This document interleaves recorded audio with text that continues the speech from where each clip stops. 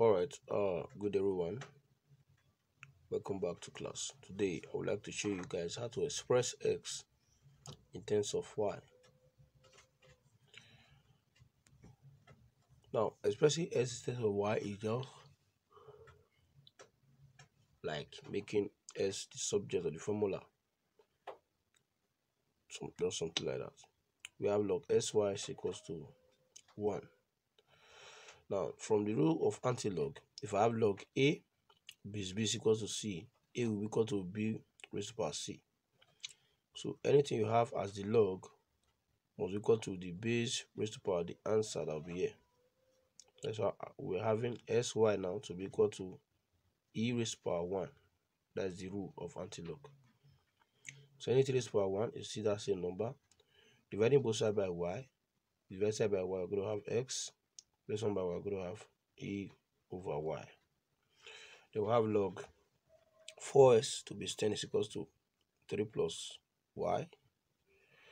Then this 4x must be equal to this 10 raised power 3 plus y from the rule of antilog.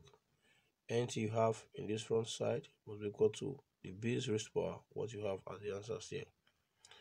So then it's divide both side by 4. We have x equals to 3 power s plus uh, 3 plus y divided by everything divided by 4. That's what I go have in that place. Let's look at one. If you have log x minus y to base e is equals to log e log 4 to base e plus y squared. Now, this x minus y must be equal to e raised power log 4 to base e plus y square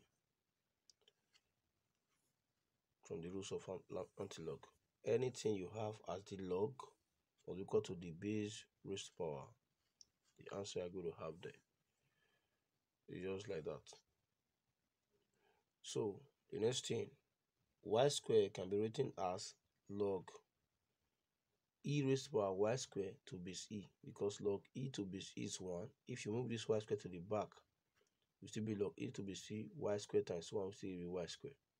I just want this log and this one, this one to have log so that both of them have the same base. You said that if we now have log 4 to base e plus log y e raised to power y square to base e, we now pick one of the log and multiply the one pick one of these uh, uh, base and multiply the log. So we pick one of these and multiply this times this because plus in logarithm means multiplication. So just pick one of these, then multiply this times this. We're going to have this. The next, if you have e raised power log of this to base e, in which this base and this general base are the same thing. So this base we cancel this base, just almost the same thing with antilog. What we left out to just be the log here. If I have a raised power log s to base a, the answer will be x. As far as this base and this base are the same thing, everything here will just cancel out. This will be left out here, which is 4 e raised power y square.